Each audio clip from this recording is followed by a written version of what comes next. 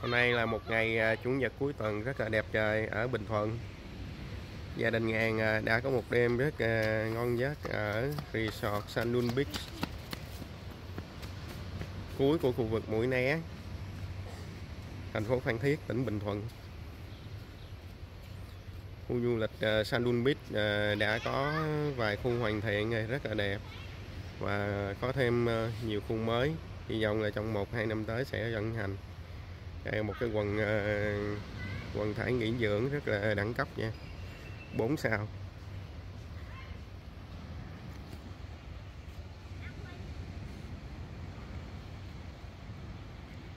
Ngày xưa khi đến đây à, ngàn à, nhớ không lầm là năm 2019 công ty ngàn đến đây team building thì à, giá phòng một đêm lên đến gần 3 triệu nha. Cho các phòng bungalow ven biển hôm nay cũng có nhiều chính sách khuyến mãi, từ 20 đến 30 phần trăm.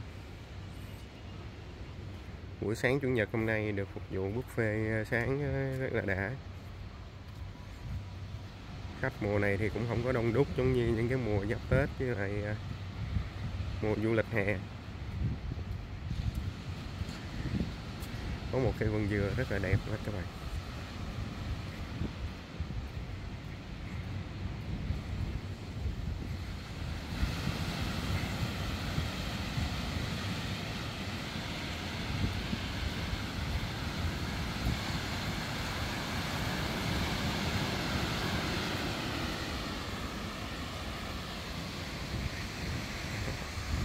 Anh em cứu hộ. Khu vực này rất là ưng là có được một cái bãi tắm rất là êm luôn nha các bạn. Biển khá là lại và sóng cũng ờ, tương đối êm đềm.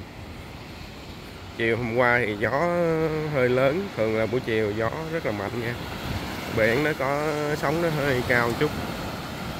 Giờ sáng nay à, biển nó êm đềm, do cái đáy biển khu vực này cũng khá là bằng này nó nằm trong cái vịnh ờ, gọi là vịnh mũi né.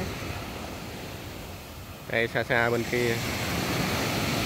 Đây, các bạn thấy, xa xa bên kia có một cái mũi nhô ra, đó chính là mũi né.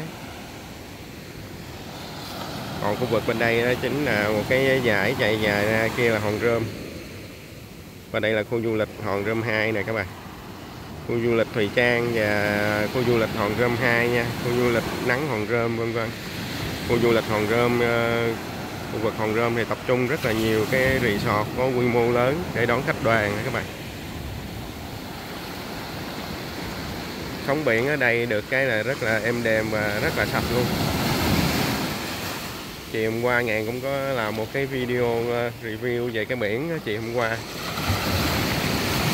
Cũng không quá mạnh nha các bạn. Sóng khá là ok đây toàn cảnh uh, Sandun Beach Resort.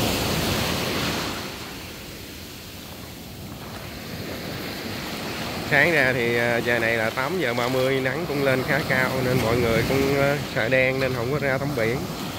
Nhà ngàn thì ờ, tắm lúc nào cũng tắm nha các bạn, không có sợ nắng. Người con Sài Gòn nhưng mà đã yêu mến Bình Thuận từ lâu và có mong muốn định cư ở đây vào một ngày đẹp trời nào đó. Khu vực của ngàn à, sắp tới à, sẽ dự định về đó là khu vực à, Tân Thắng, Hàm Tân. Biển Tân Thắng, Sơn Mỹ thì không có đẹp bằng những cái vùng biển ở ngoài Phan Thiết với lại Hòn Rơm nhưng mà được cái biển cũng khá là sạch nha. Nhiều hải sản tôm, cua ghẹ ốc cũng khá là trù phú và giá cả đời sống vật chất nó cũng khá là hợp lý không có đắt đỏ giống như ờ, ở khu vực Vũng Tàu và Phan Thiết.